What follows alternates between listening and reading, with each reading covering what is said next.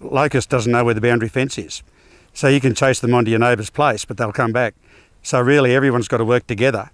Otherwise, you'll think you've cleaned up all of your locust, and then the neighbour's locust will come through the fence. Andrew Pittman, I'm a landholder uh, on Muckabundi, which is about uh, seven k's east of Moree as the crow flies.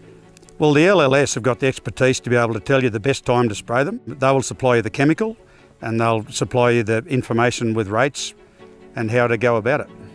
So everyone's responsible for controlling plague locusts, whether they're private or public land managers. It's really important to control them before they really start damaging pastures and crops.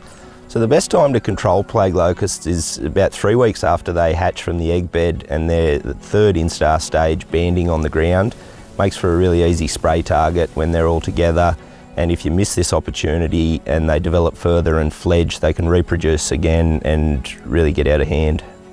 Well, I think really the landholder's role is to initially locate the plague locust, actually keep your eyes peeled, get out and about the paddocks, when you, especially when you know it's a season that could encourage locust. Time is of the essence when you see a plague locust. You've got to get onto them before they fly. So you've got to get on, you've got to treat them and you've got to contact your neighbours and make sure that they're doing the same thing and that they're keeping an eye out on their properties as well.